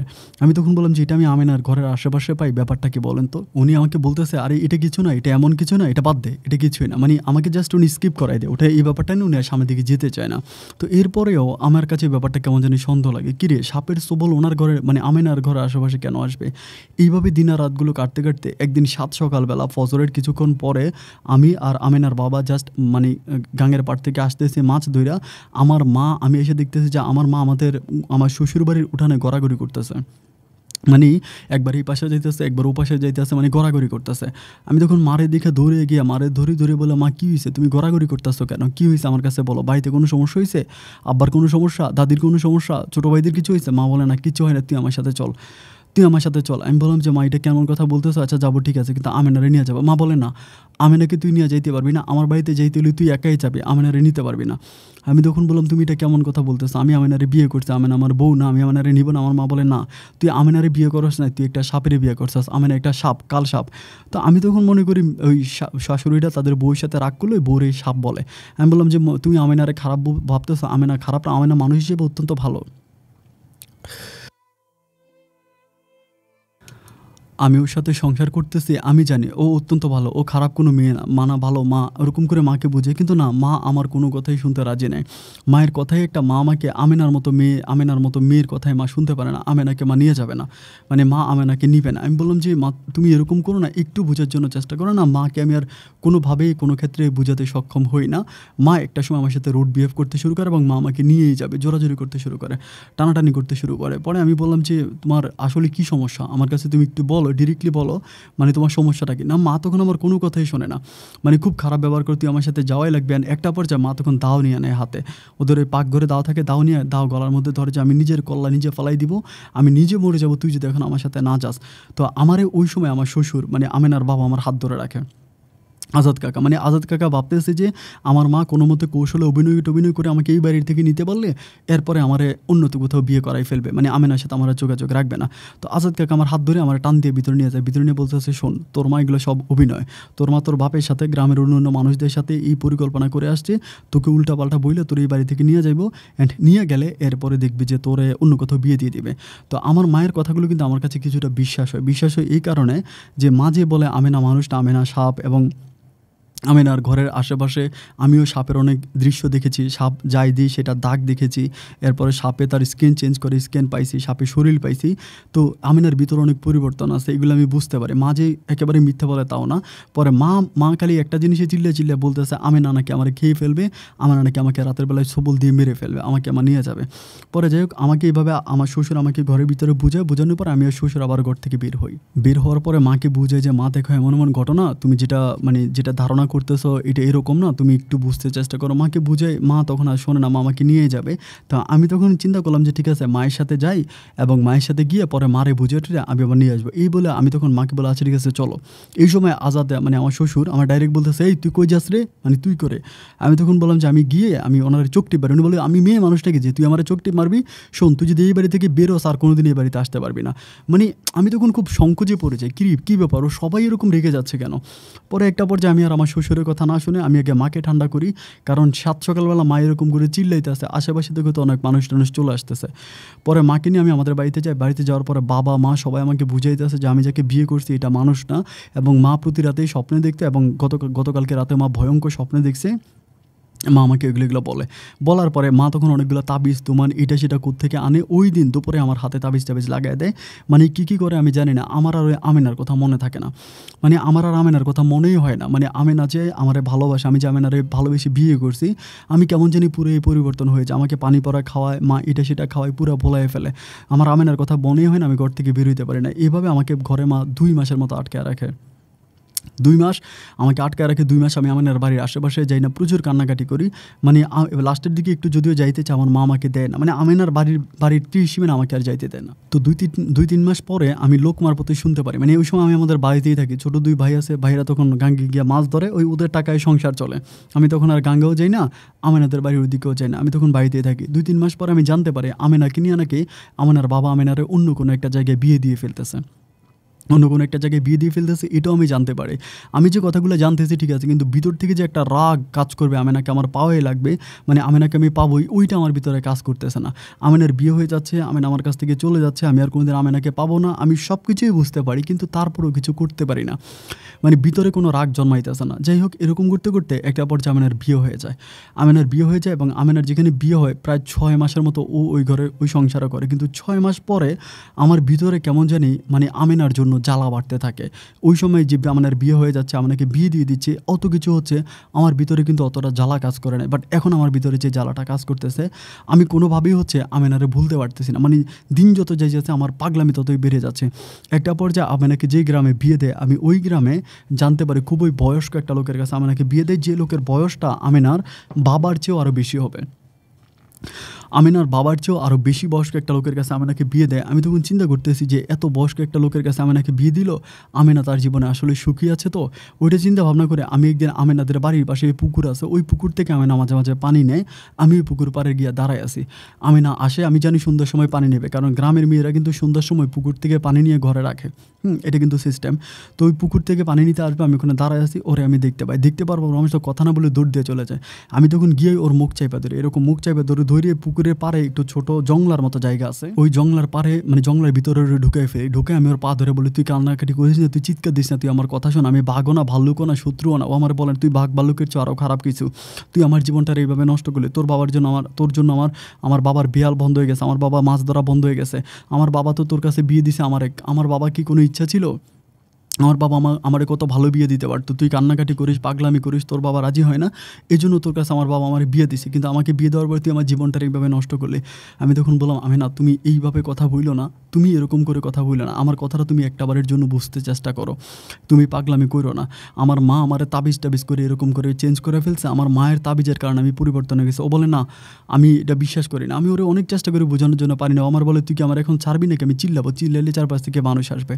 তো ও যখন এটা বলে, আমার ছেড়ে দিই, ও তখন চলে যায়। এরপরে প্রত্যেক দিন রাতের বেলায় মানে সন্ধ্যার আগে আমি ওই পুকুর পাড়ে গিয়ে দাঁড়াই থেকে। ও পুকুর থেকে পানি নেই আমার দেখে দাঁড়ায় থেকে পাক্কা এক মাস। পাক্কা এক মাস এইভাবে আমি ওর পুকুর পাড়ে দাঁড়ায় থাকার পরে এক মাস পরে একদিন আমার বলতেছে আচ্ছা তোমার কি মাথা খারাপ? তুমি যে এখানে এসে দাঁড়ায় থাকো, এটা যদি আমার স্বামী বা আমার ঘরের আশেপাশে অন্য কেউ দেখে, তাহলে কী হবে? আমি বললাম, স্বামী? কোনটারে স্বামী বলতেছে? এটা স্বামী? এই বুড়া লোকটা তোমার স্বামী হয় কেমনে? ওর সাথে তোমার কোন অ্যাঙ্গেলে যাও আমাকে একটু বলো তো। ও আমাকে বলে, যাবে না কেন? ও আমার স্বামী, ওর সাথে অনেক সুখে আছে। আমি বলি, না, মিথ্যা হইল না। বুকে হাত দিয়ে বলো তো সুখে আছো কিনা? ও বলে, সুখে না থাকলেও সুখে আসি এখন সুখে না থাকলে কি করব? আমি বললাম, সুখে না থাকলে যেটা করবা, আমি বলে দিব। কী করতে হবে? বলে, তাহলে কী করতে? আমি বলি, সুখে থাকতে হলে আমার সাথে আসতে হবে। ও আমারে বলে, তোমার সাথে মানি? আমি বললাম হ্যাঁ আমার সাথে আসতে হবে। তুমি আমার সাথে আসবা এবং আমার সাথে আসলেই হচ্ছে আমি তোমার নিয়ে সংসার করব। এটা আমি ওরে বলি। তো আমাকে বলে যে, না, আমি যাব না। আমি তোমার সাথে যাব কেন? আমি যাব না। না, যায় না। তো ওরকম করে আরও কিছুদিন পরে ওর মনটা মনে হয় গলে। ও যদিও আমার সাথে আসতে রাজি হয় না, কিন্তু ওই যে পুকুর পারে কেউ খারাপভাবে নেবেন না, পুকুর পাড়ে যে মানে বিলটা আছে, ওই বিলের মাঝে সবসময় আমিনার সাথে আমার একটা সম্পর্ক হইতো। মানে একটা অবৈধ সম্পর্কে বলা চলো, ওরকম একটা সম্পর্ক আমার সাথে, আমার এখানে হইতো। আমিও বিয়ে করতাম না আমিনাও এভাবে পড়ে আছে, সম্পর্কটা হইতো এখানে যাইতাম। প্রতিদিনে মোটামুটি দুই দিন পর পরে আমার সাথে ওর খারাপ কাজটা হইতো। এরকম হইতে হইতে একটা সময় আমেনা বাচ্চা কনসেপ্ট করে। আমেনা বাচ্চা কনসেপ্ট করে এবং সবাই মনে করে যেটা আমেনার মানে আমেনার হাজব্যান্ডের বাচ্চা বা এটা অনেকেই মনে করে। যাই হোক, কিন্তু আমি তো জানি বাচ্চা কার। তো বাচ্চা যখন কনসেপ্ট করে, বাচ্চা হবে, কিন্তু ওই সময় দেখা যায় বাচ্চাটা বাচ্চাটা হয়ও, বাচ্চাটা হলে বাচ্চাটা মৃত হয়। বাচ্চাটা মৃত হয় মানে জীবিত হয় না মানে মরা বাচ্চা হয়। তো এরপরে, এরপরও আমেনার সাথে আমার এই সম্পর্কটা থেকে গেছে। আমেনা আমাকে সবসময় বলে, তুমি বিয়ে করো, সংসার করো, বিয়ে করো, সংসার করো। আমার কথা হচ্ছে, আমি জীবনে বিয়ে করব না। জীবনে যতকাল বেঁচে আছি, এভাবেই জীবন কাটাই দিব। এইভাবে আমেনার সাথে আমার সম্পর্কটা যেতে যেতে যেতে যেতে একদিন আমেনার এক ননদ, সম্পর্কে ননদ হয়, ওই ননদ কেমনে জানি এটা ডাউট করে ফেলে। আমেনা যে ওইদিকে গাঙের পারে যায়, দেখে। দেখার পরে ওই ননদে মনে হয় তার জামাইকে বলে দেয়। জামাইকে বলে না কি বলে আমি জানি না। এর পরের দিনে আমার ওইখানে আমেনার সাথে ধরতে পারে না। আল্লাহর কি হুকুম, ওই দিন আমেনার আসে না, আমেনা ব্যাপারটা আগেই বুঝে যায় যে এরকম এরকম ওরে ডাউট করে ফেলছে। এই জন্য আমেনার আসে না, কিন্তু ওই দিন ওর জামাই আরও কিছু লোক মিলে আমাকে ওদের ওই ঘরের পিছনে মানে পারে ধরে। আমাকে ওই জায়গায় ধরে। ধরার পরে আমারে বলে যে, তুই এখানে কি লেগে আইসস এখানে কি কারণে আসছিস বল? আমি তখন বলতেছি না। না বলার পরে আমার তখন ওরা বাইন্দে ওইখানে মাইট দেয়। যখন মাইট দেয় মায়ের জ্বালা সহ্য করতাম না পেরে আমি তখন বলি যে, আমি আমিনার লগে সম্পর্ক করছি। আমিনা আমার বউ। আমি আমার বউয়ের কাছে আছি। এখন ওনারাও কিন্তু জানে আমেনার সাথে মানে পরে জানতে পারছে যে, আমেনার সাথে আমার বিয়ে হয়েছে কিন্তু এটা মানে তালাক ডিভোর্স হয়ে গেছে আইনিভাবে সব কিছু কিন্তু এরপরেও আমি কেন এখানে আসি? পরে ওইখানে মাইরা আমেনার বাপের খবর দেয়। আমেনার বাপও আসে। আসার পরে এবার আমেনার বাপের কাছে আমার বলতেছে যে, এই ঘটনা, আমেনার বাপে আমার বাপের খবর দেয় না না দিয়া আমেনার জামাইরে বলতেছে যে, আপনি কি করবেন? যেহেতু ওর বাচ্চা মারা যাইতেছে, বাচ্চাও মারা গেছে, তো এই ক্ষেত্রে ওর জামাইয়ের মন অনেক খারাপ। ওর জামাই বলে যে, আপনি আপনার মেয়েরে নিয়ে যদি ভালো করতে পারেন, আমার বাড়িতে দিবেন, আর ভালো করতে না পারলে আমার বাড়িতে দিয়েন না। এটা বলার পর আমি খুব অবাক হয়ে যাই, আজাদ কাকা আমেনারে নিয়ে ঘরে যায়, কিন্তু আমার কিছুই বলে না। না, নি, তুই আমার মেয়ের শ্বশুর বাড়িতে কেন আসলি বা এটা সেটা কেন করলি, ওগুলো কিছুই বলে না, আমাকে তখন ছেড়ে দেয় ছেড়ে দিলে আমি তখন বাড়িতে যাই, কিন্তু আমেনার সাথে আমি আর যোগাযোগ করতে পারি না। আর কোনো যোগাযোগ হয় না, কথাবার্তা হয় না। আমি অনেকভাবে আজাদ কাকারে বোঝানোর জন্য চেষ্টা করি যে আমার ভুল হয়েছে, আমার অন্যায় হয়েছে, আমি অপরাধ করছি, আমি আমিনারে আবারও নিয়ে সংসার করব। আপনি আমিনারে দিয়ে দিয়া দেন না, উনি আর আমিনারে দিবে না। আমার কাছে দিবে না। এইভাবে আরও কিছুদিন কাটার পরে আমিনার আরেকটা বিয়ে ঠিক হয় একটা হুজুরের সাথে। ওই হুজুরের নাম হচ্ছে মোহাম্মদ মোহাম্মদ। মানে ওনার নামই মোহাম্মদ। ওই মোহাম্মদ নামের এক হুজুরের সাথে আমিনার বিয়ে ঠিক হয় এবং পার্শ্ববর্তী গ্রামে, আমাদের পার্শ্ববর্তী গ্রামে ওইখানে বিয়ে ঠিক হয়। তো ওই সময় আমি আমিনার বাবাকে অনেকভাবে বুঝাই। আমিনার বাবা রাগী একটা, অভিমানে একটা আমার উপরে আমি কেন ওই সময় আমার মায়ের সাথে চলে গেলাম? সেদিন যদি আমি আমার মায়ের সাথে না যাইতাম, তাহলে আর আজকে এই ঘটনা ঘটতো না। উনি আগে জানে যে আমার মা আমাকে নিয়ে তাবিজ তুমান করে পাল্টাই ফেলবে, চেঞ্জ করে ফেলবে, এটা উনি আগেই জানতো। আমি কেন আমার মায়ের কথা বিশ্বাস করে আমার মায়ের সাথে গেলাম। এটাই ওনার রাগ। ওই রাগের জন্য উনি তখন আর মানে আমাকে আর দিবে না। পরে ওই হুজুরের কাছে আমেনাকে পুনরায় আবারও বিয়ে দেয়। তো বিয়ে দেওয়ার পরে এবার আর আমার আমেনার সাথে কোনো সম্পর্ক হয় না। আমি আমেনার কাছে যাইও না। মানে কোনোভাবে আমেনার সাথে আমার আর কোনো যোগাযোগ নেই, কোনো সম্পর্ক নাই। আমেনার সাথে এইভাবে হচ্ছে না। আরও প্রায় দুই বছরের মতো কেটে যায়। অ্যান্ড ওই দুই বছর আমেনার ঘরে কোনো সন্তান হয় না। কেন হয় না ওগুলো আমি জানি না। দুই বছর পরে আমার পরিবার এবার আমাকে জোর করে ধরছে যে আমাকে বিয়ে করাবেই করাবে। আমার কারণ ছোটো ভাইগুলো বয়স হয়ে গেছে, ওদেরও বৃদ্ধ হয়ে যাচ্ছে ওরা। অ্যান্ড বিয়ে তো করাই লাগবে, কারণ আমি যেহেতু সবার বড়, একেবারে বাবা মা তখন জোর করে হচ্ছে আমার একটা মামাতো বোনকে আমাকে বিয়ে করাই দেয়। মামাতো বোনটাকে আমাকে বিয়ে করায়। তো বিয়ে করানোর পরে ব্যস্ত, আমি আমার মামাতো বোনের নিয়ে আসি। আমি আর আমেনার কোনো খোঁজ খবর নিই না বা আমেনা আমেনার মতো করে আসে। এইবার আমি আস্তে আস্তে লোক মারফতে জানতে পারি, আমেনার ভিতরে বড় ধরনের সমস্যা নাকি ওর জামাই পাইছে। মানে কোনো একটা সাপের সাথে আমেনার সম্পর্ক আছে, যার জন্য আমেনার ঘরে কোনো সন্তান হয় না এবং সন্তান হলেও সন্তান বাঁচে না। আমেনার ঘরে এরপরে যে হুজুরটাকেও বিয়ে করে, ওই হুজুরের সংসারে আমেনার ঘরে তিনটা সন্তান আসে। মানে পরপর তিনটা মানে ছেলে সন্তান হয়, তিনটার একটাও বাঁচে না। তিনটার একটা সন্তানও বাঁচে না। আর আমি যাকে বিয়ে করছি, আমার মামাতো বোন, আমার তো আমার মামাতো বোনই করে আমার দুইটা সন্তান হয়ে যায় এবং দুইটা সন্তানে বেঁচে আছে। একটা ছেলে, একটা মেয়ে। আমার একটা ছেলে, একটা মেয়ে আছে, কিন্তু আমিনার ঘরে মানে সন্তান হলেই মারা যায়। তিনটা সন্তান হয়, তিনটা সন্তান হওয়ার পরেও ওই তিনটা সন্তান মারা যায়। মারা যাওয়ার পরে আমিনার মানে যিনি হাজব্যান্ড আছে, উনি কিন্তু অনেক ভালো মানুষ। মানে হুজুর টাইপের আর কি, যথেষ্ট ইমানদার একজন ব্যক্তি। উনি তখন কোরআনের উপরে রিসার্চ করে এটা, সেটা অনেক মেডিসিন ওষুধ আমেনাকে দেয়, কিন্তু আমেনার আর কোনো কাজে হয় না। তিনটা, চারটা সন্তান মারা যায় যাওয়ার পরে ওই হুজুরার আমেনাকে নিয়ে সংসার করবে না। হুজুর আমেনাকে নিয়ে সংসার করবে না। এরপরে হুজুর আরও গ্রামের কিছু মানুষদেরকে নিয়ে ডেকে পারিবারিকভাবে আমেনাকে উনি ডিভোর্স মানে তালাক দিয়ে দেয়। এবং তালাক দিয়ে যে টাকা পয়সা আমেনা পাইতো, ওই টাকা পয়সা আমেনাকে দিয়ে উনি এটা একদম আইনিভাবে উনি সেপারেট করে নেয়। এরপর আমিও তো বিয়ে করে ফেলছি, আমারও সন্তান আছে, আমি আমার সন্তান নিয়ে এভাবেই চলতেছি। আমেনা তখন আমাকে দেখলেই কান্নাকাটি করে, দেখলেই কান্নাকাটি করে। মানে আমি কি করব? আমার তো অলরেডি বউ আছে, আমার তো আর কোনো কিছু করা নাই। পরিশেষে আমেনার বাবা চিন্তা করল যে এখন কি করা যায়, কোন ওয়েতে মেয়েটাকে ভালো করা যায়? কারণ তার তো আর কোনো কোনো কোনো হাজব্যান্ড নাই কিচ্ছু নাই বা সব কিছুই শেষ হয়ে গেল। ওইভাবে আমাদের ওই গাঙের পারে ওই সময় দূর দূরান্ত থেকে মানে খুলনা, কুমিল্লা, চট্টগ্রাম মানে তারপর বিভিন্ন জায়গা থেকে হচ্ছে মানুষ কিন্তু বসি পাওয়ার জন্য গাঙের পারে আসতো। মানে গাঙের পারে আবার বা অনেকে বিয়াল হচ্ছে ভাড়া নিতে। যেমন আমেনার বাপের যে বিয়ালটা আছে, ওই বিয়ালটা উনি একটা লোকের ভাড়া দিয়ে দিছে। ওই লোকে ধৈরা মাস শেষ আমেনার বাপেরে মানে কিছু টাকা দেয়, ওই জায়গা ভাড়া আমেনার বাপে দিয়ে দিছে। ওই সময় দেখা যায় আমাদের এলাকার সমস্ত বিয়ালগুলোই ভাড়াতে চলে গেছে। মানে এলাকার যে মানুষ, তারা আর বিয়াল দিয়ে মাছ ধরে না। তারা বিয়াল দিয়ে মাছ ধরে না, তারা সমস্ত বিয়ালগুলো দিয়ে দিছে মানুষের। মানুষের দিয়ে মাছ ধরে মাছ শেষ হয়ে যে ঘর ভাড়া যেরকম না, ঘর বানাইয়া ভাড়া দেয় ওইরকম। তো এরপরে ওই পারে মানে আমেনাদের পাড়ের অপোজিট পারে একটা লোক আছে, ওই লোকটা, ওই লোকটার নাম হচ্ছে আব্দুল হাসেম আব্দুল হাসেম নামের ওই লোকে করে কি, উনি মানে উনি আমেনাকে কেমনে কেমনে জানি দেখে। দেখার পরে উনি তখন নৌকা দিয়া ওই পার থেকে এই পারে আসে, আইসা আমেনাকে বিয়ের প্রস্তাব দেয় এগুলো কিন্তু আমি লোকের মা মানে লোক পথে পরে শুনছি আর কি। আগে তো আর শুনি না আগে তো জানতাম না, আমি আমার বউ সংসার নিয়ে আসি। আমেনাকে বিয়ের প্রস্তাব দেয় এবং আমেনাকে ডাইরেক্ট বলে যে তোমার যেই সন্তান হয় না, এই সন্তান যে হয় না বা হইলে মারা যায়, এটাতে তোমার সাপের একটা সমস্যা আছে। আমি তোমার বিয়ে করলে তোমার এই সাপের এই সমস্যাটা থাকবে না, তোমার সন্তান বাইচা থাকবে। এটা এই লোকটারে আমিনা বলে। তো আমিনা যখন ওই লোকটারে বলে, বলার পরে আমিনা তখন বিশ্বাস করেন আমিনা বলে, না, আমার জীবনেও সন্তান হবে না। সন্তান হলেই সন্তান মারা যাবে। একটা মানুষ কয়টা বিয়ে বসে? আমি কতগুলো বিয়ে বসছি, আমি আর বিয়ে বসবো না। তখন ওই লোকটা বলতেছে, ঠিক আছে, তুমি খারাপভাবে নিও না। তুমি তোমার বাপ মারে বলার দরকার নাই। তুমি আমার সাথে হুজুরের কাছে চলো। আমরা দুজনে মিলা কলমা পড়ি। কলমা পড়ে এরপরে আমরা হচ্ছে মানে কলমা পড়ে আমরা দুজনে একসাথে থাকি। যদি তোমার, আমার আমার মাধ্যমে যদি তোমার সন্তান হয়, সন্তান যদি বাইচা থাকে তাহলে তুমি আমার সাথে সংসার করবা। আর যদি সন্তান বাইচা না থাকে তো কেউ জানবে জানবেও না, কোনো কাবিন হবে না কিছু হবে না, তুমি আমার ছাইড়ে দিবা।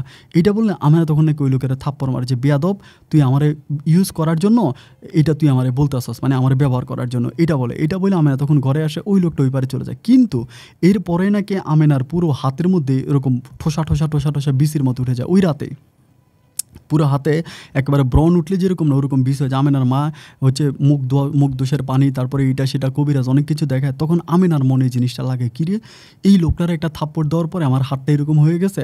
তার মানে মনে এই লোকটার ভিতরে কোনো কেরামতি আছে? কেরামতি আছে। আমি না ওইটা চিন্তা করি যখন হাত ভালো হয়, ভালো হওয়ার পর আমি তখন নৌকা দিয়া ওই পারে যায়। আমি কিন্তু জানি যে উনি ওই পারে মাছ ধরে। যাওয়ার পর ওই লোকে যে বলতেছে যে, এমনি এমনি আমার হাতে সমস্যা হয়েছে আপনি আমার হাতে কী করছেন? ওই লোকে বলে, না, আমি কিছুই করি নাই। আমি তোমার হাতে কিছুই করি নাই। আমি মাছ ধরি, তুমি যাও। তুমি যদি রাজি হও না আমার মারছো, তাহলে বাদ দাও। আমি না তখন ওই লোকটারে বলতেছে যে, না, আমি আপনার প্রস্তাবে রাজি। আমি আপনার প্রস্তাবে রাজি, আমি বিয়ে করব। তখন ওই লোকে নাকি বলতেছে যে, না, আমি এভাবে বিয়ে করব না, আমি এভাবে আর গোপনে বিয়ে করব না, আমি তোমার বিয়ে করতে হয়, একেবারে পুরো সবাই জানাই বিয়ে করব। আমি আর গোপনে বিয়ে করব না, গোপনে আমার আর বিয়ে করার ইচ্ছা নেই, আমি আর এটা করব না। তখন এটা বলার পরে তখন ওই আমেনা নাকি ও লোকের প্রস্তাবে রাজি হয় রাজি হয় আমেনা তার বাপেরে বলে। বাপের বলে, আমেনা ওই আমেনার, আমেনা কী করে ওই লোকের সাথে কথাবার্তা বলে, লোকের সাথে কথাবার্তা বলে জানতে পারে, উনি কোত্থেকে আসছে? ওইটা কেউ জানে না। মানে ওনার গ্রামের কোনো ঠিকানা উনি দেয় না। উনি বলে, আমি আমার গ্রামের ঠিকানাও দিতে পারব না, দেশের ঠিকানাও দিতে পারব না। আমি আপনার মেয়ের বিয়ে করব, বিয়ে করে আপনার মেয়ের সাথে আমি থাকব। প্রয়োজনে আপনার বাড়িতেই থাকব। এটা বলে। তো বলার পরে আমিনার বাপে তখন রাজি হয়। যাই হোক, মেয়ে যেহেতু বিয়েই হচ্ছে না, তাহলে এরকম একটা বিয়ে হলে খারাপ কি? তখন ওই লোকটার কাছে আমিনাকে বিয়ে দেয় বিয়ে দিয়ে আমিনাকে উনি ঘর জামাই নিয়ে চলে আসে। যেরকম আমি ছিলাম ওই রকম ওই লোকটা তখন হচ্ছে আমিনার বাপের বিয়ালের কাজ করে আর ওই বিয়ালটা ছেড়ে দেয়। এইভাবে পাক্কা প্রায় দেড় বছরের মতো আমিনার বাপের বিয়ালে থাকে, কিন্তু আল্লাহর এসা হুকুম, আল্লাহর রহমতে আমিনার ঘরে একটা ছেলে সন্তান হয় এবং ওই ছেলে সন্তানটা মরা না, জীবিত। এবং ভালো, সুস্থ ছেলে সন্তান হয়। এই লোকটা তখন অনেক ভালো, সবার মুখে অনেক অনেক ভালো। ভালো হওয়ার পর ওই লোকটা তখন বলতেছে, সে তার দেশে চলে যাবে। তার দেশ কোথায়? তার দেশ হচ্ছে রংপুরে। আমাদের চট্টগ্রাম থেকে কিন্তু রংপুর অনেক দূরে। উনি বলে ওনার বাড়ি রংপুরে, কিন্তু ওই সময় তো আসলে মানে সালটা ছিল লাইক বিরানব্বই সালের দিকে, উনিশশো বিরানব্বই কি তিরানব্বই ওই সাল।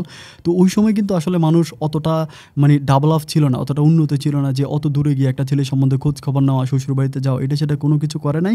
ওই লোকের উপরে বিশ্বাস করে তখন আমেনাকে ওই লোকের হাতে তুলে দেয়। ওই লোকের হাতে তুলে দেয়, উনি ওনার বউ নিয়ে উনি ওইখানে যায়। যাওয়ার পর ওইখানে থেকে আবার উনি ওনার বউ নিয়ে আসে। এইভাবে যাতায়াত করতে করতে আমিনার ঘরে দুইটা ছেলে একটা মেয়ে হয়।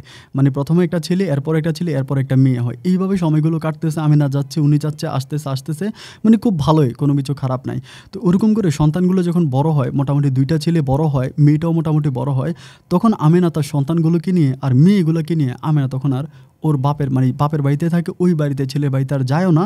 আর ওর যে জামাই, ওই জামাই আসাও না। যখন এভাবে বেশ কিছুদিন কেটে যায় আমি না প্রথমত মানুষদেরকে এটা সেটা উল্টা পাল্টা বুঝাচ্ছে যে, আমার স্বামীর অসুস্থ, আমার স্বামী এটা সেটা মানে অনেকভাবে আমি না মানুষদেরকে বোঝায় যে তার সামনে আসতে পারে না। তো এইভাবে একদিন, দুই দিন, তিন দিন কতদিন কাটবে? তাই না? অনেক দিন কেটে গেল, ওর জামাই আসতেছে না। পরে মানুষের মুখে মুখে মানুষ তখন আমেনাকে নিয়ে বিভিন্ন বাজে কথা বলতেছে। ওর জামাই আর আসবে না, ওর খোঁজ খবর নিবে না। কিন্তু আমিনাদের পরিবারে কোনো অভাবও নাই। এমন তো যে আমিনার বাবা কিন্তু কোনো কাজ কাম করে না। ওদের যে বিয়ালটা ছিল ওইটা ওই সময় ভেঙে গেছে। মানে বিয়াল ভেঙে একদম মানে ইয়ে হয়ে গেছে বিয়াল ওই সময় চলে না।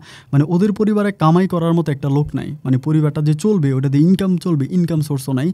তাহলে ওদের পরিবার ওরা ভালো ভালো খাবার খাচ্ছে, কাপড় চোপড় কিনতেছে, গ্রামে চলতেছে, তাহলে চলে কেমনে? টাকাটা থেকে আসে? এটা নিয়ে গ্রামের মানুষ তখন বিভিন্ন রকমের বাজে মন্তব্য করতে শুরু করে যে আমেনার অবৈধ সম্পর্ক আছে এবং ওই অবৈধ সম্পর্কের কারণে আমেনা হচ্ছে এগুলা করে। তো এগুলা তা না হলে ও টাকা পায় কই? কিন্তু আমেনা কেন তার ওই ব্যাপারে কোনো কিছু গোমর খোলে না, কোনো কিছু গোমর খোলে না? গোমর না খোলার পরে একদিন আমি করি কি, যে বিকালবেলা ওদের হচ্ছে ওই মানে ওদের গাঙের ওইদিকে আমার ছোট একটা সন্তান আছে, আমার সন্তানটা নিয়ে আমি বসে আছি। আমিনার ওইখানে দেখি যে আমিনার মানে কোমরের ভিতরে একেবারে স্বর্ণের একটা বিচাদর আপনারা অনেকেই চিনবে, স্বর্ণের বিচাদর চিকচিক করতেছে, দেখা যায়। আমি তখন বলি হাই রে, শরীর বিক্রি করে গয়নাগাটি পড়তে ভালোই লাগে। কথাটা আমি এমনি একটু দুষ্টামি করি বলি। বলার পরে আমি না তখন এই কথাটা শুনে ওর মানে মাটির কলসিটাকে ওর কোমরে মাটির কলসিটা ফেলে দেয় ফেলে দেয়, ভেঙে যায়। ভেঙে পরে আমার কাছে আসে, এসে বলতেছে, আপনি কি বললেন কথাটা আমারে? আমি বললাম যে, না, বললাম যে গ্রামের মানুষ কানা গেসটা করে যে টাকা পায় কই, পয়সা পায় কই, কেমনে চলে, এত টাকা থেকে আনে, জামাই আসে না, জামাই খোঁজ খবর নেয় না, আবার সোনার বিচাদুর কোমরের ভিতরে, এটা বলি। পরও আমারে বলতেছে, আপনি যে আমার সম্বন্ধে কত দূর জানেন? আমি বললাম যে, কত দূর মানি?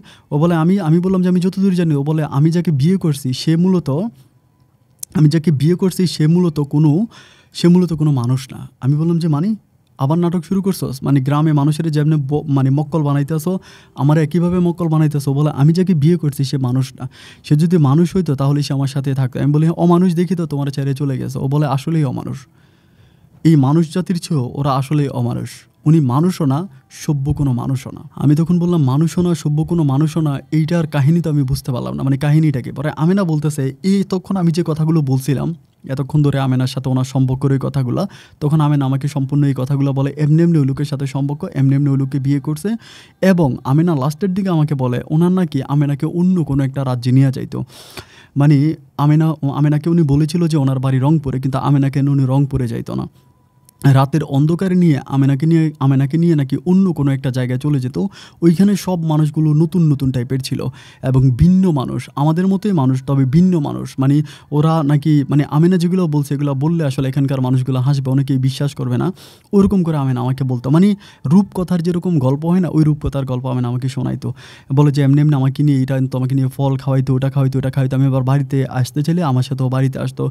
আবার যাইতো, আমি জানি ও মানুষ না, ও সাপ অথবা কোনো জিন আমাকে এটা বলে। আমি তখন বললাম, তো সাপ আর জিন যদি হবে, তাহলে তোমার সন্তান হইল কেমনে? সাপে আর জিনের মাধ্যমে কি মানুষের পেটে সন্তান আসতে পারে? ও বলে, এটা একমাত্র কুদরত আল্লাহ ভালো জানে। তবে আমি বললাম যে তুই ঠিক আছে, তারপরে ওরে ছেড়ে দিলা কেন? সাপ হোক, জিন হোক, যাই হোক, তোমার সাথে আসতো, থাকতো, ও চলে গেলে কেন?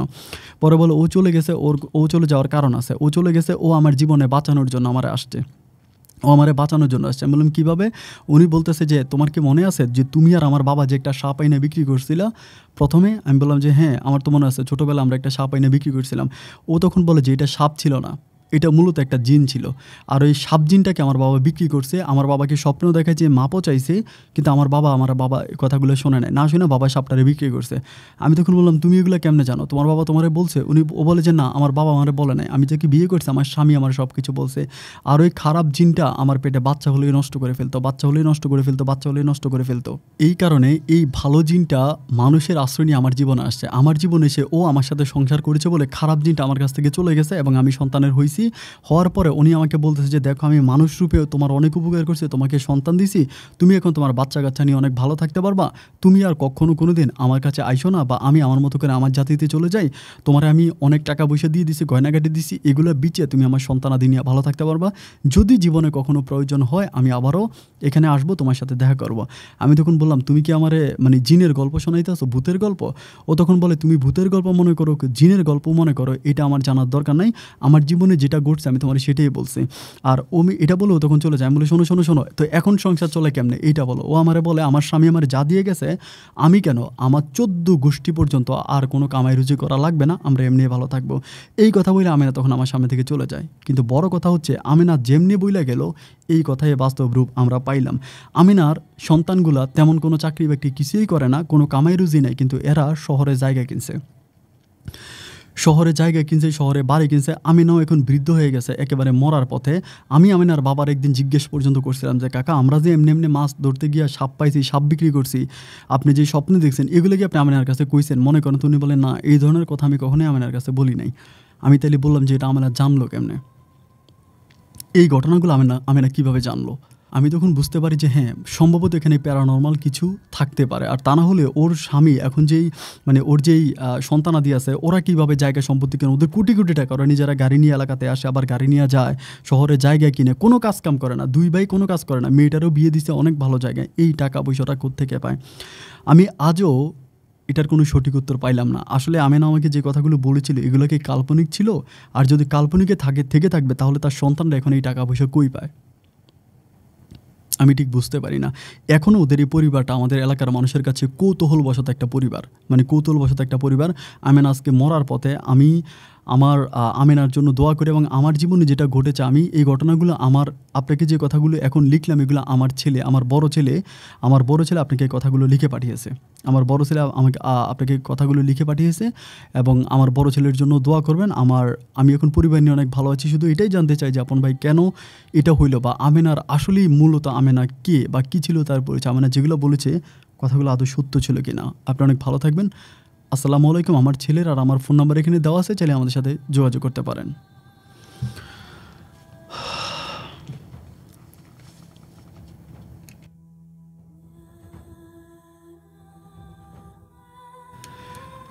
বন্ধুগণ শুরুতেই সবাইকে অনেক বেশি ধন্যবাদ। এতক্ষণ পর্যন্ত করিম এবং আমেনার জীবনের গল্পটা শুরু থেকে শেষ পর্যন্ত আমার মুখ থেকে শোনার জন্য। আমেনার সবচেয়ে ছোটো মেয়ের নাম ছিল আফিয়া।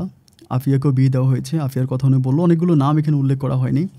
অনেকগুলো নাম আমি বলি নাই। আসলে আমি একটু নিজেও অসুস্থ। যতটুকু পেরেছি চেষ্টা করেছি নিজের মতো করে বোঝানোর জন্য। এখন ওনার প্রশ্ন হচ্ছে যে, কেন আমেনা যে কথাগুলো বলেছে, এগুলো কি কাল্পনিক ছিল নাকি সত্য ছিল? দেখেন, আসলে মূলত আমি কোনো হুজুর না, আমি কোনো ঠাকুর না, আমি কোনো জ্যোতিষী না, আমি কোনো প্যারানর্মাল অ্যাক্টিভিটির উপরে কাজও কখনো করি নাই, আমার কোনো ধারণা নাই।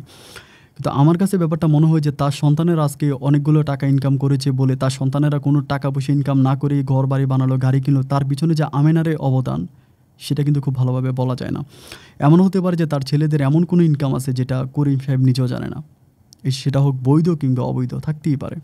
বিচিত্র কিছু না। না হলে জায়গা সম্পত্তি কীভাবে কিনলো? আর আমিনা যে কথাগুলো করিমকে বলল, এমনও হতে পারে যে করিমকে হিট লাগানোর জন্য কথাগুলো বলল, যে করিমকে বোঝানোর জন্য যে আমি ভালো আছি এবং একটা জিন আমাকে বিয়ে করছে, এটা করিমকে জাস্ট হিট লাগানোর জন্য বলল।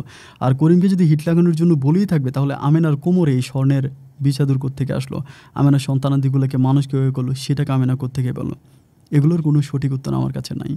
আমি আসলেই বলতে পারব না। আমি বলেছিলাম গল্পের শুরুতে যে, বন্ধুরা, আমরা আমাদের জীবনে গল্পটার পিছনে শিক্ষণীয় একটা ছোট্ট ব্যাপার আছে, সেটা হচ্ছে আমরা সামান্য একটু সুখের জন্য মানে ধরেন রাস্তার মধ্যে আমরা দশটা টাকা পাইলাম। রাস্তার মধ্যে দশ টাকা টাকা পাইলে আমরা টাকাটা ফুট করে কেউ দেখেছে কিনা, এদিক সেদিক টাকা টাকাটা আমরা পকেটে ভরে ফেলি। এটা আমাদের লোভ। আমরা যদি এই লোভটাকে না সামলিয়ে এই দশটা টাকাকে আমরা মসজিদে দিয়ে দিই, আল্লাহ হয়তো এই দশ টাকার জন্য আমাদেরকে দশ লাখ টাকার মালিকও বানাতে পারে। আমেনার উপরে যদি আব্দুল হাসেম নামের যে লোকটা এসেছিল, উনি যদি সত্যিকার অর্থে আমেনার মানে আসলেই জিন হয়ে থাকে, তাহলে ওই লোকটাই আমেনাকে বাঁচিয়েছে। তা না হলে আমেনার বাবা যে কাজ করেছে, সে কাজে কিন্তু আমেনার যে অবস্থা লাস্টের দিকে হচ্ছিল, সন্তানও ছিল না, হলেই মরে যাচ্ছিল। আমেনার জীবনটা কিন্তু এভাবেই শেষ হয়ে যেত এবং আমেনা একটা সময় আত্মহত্যা করে মারা যেত যদি আব্দুল হাসেম আমেনের জীবনে, আমেনার জীবনে না আসতো। এজন্য বলব যে লোভটাকে একটুখানি লালসাটাকে একটুখানি কন্ট্রোল করার জন্য চেষ্টা করেন? জাস্ট এটা মনে রাখবেন যে আপনি একটুখানি লোভ থেকে যতটুকু বেরিয়ে আসবেন, জীবনে হয়তো ভবিষ্যতে হয়তো তার চেয়ে অনেক বেটার কিছু পাবেন। বন্ধুরা, একটা কথা মনে রাখবেন যে আমাদের জীবনে আগামীকাল কী ঘটবে, এটা এই পৃথিবীর কেউ বলতে পারে না। আমরা কেউ বলতে পারব না আমাদের জীবনে আগামী দিন কী ঘটবে। সুতরাং যে দশ টাকা পেয়ে পকেটে ভরে ফেললেন, এই দশ টাকা পকেটে না ভরে মসজিদে দিলে হয়তো আপনার জীবনে আগামী দিনটা অনেক ভালোও হতে পারতো। এজন্য বলব করিমের জীবন থেকে শিক্ষাটা রাখেন, লোভ, লালসাগুলো নিজের জীবন থেকে কমিয়ে দেন। কিছুক্ষণ আগে একজন মানুষের সাথে কথা বলেছিলাম।